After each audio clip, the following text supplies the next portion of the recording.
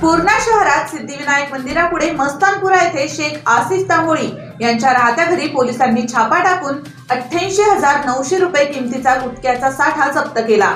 Purna police ठाण्यात police उपनिरीक्षक महेंद्रकुमार पोपलवार यांच्या फिर्यादीवरून आरोपी शेख आसिफ शेख जुबेर असलम शेख यांच्या विरुद्ध गुन्हा दाखल करण्यात आला आहे.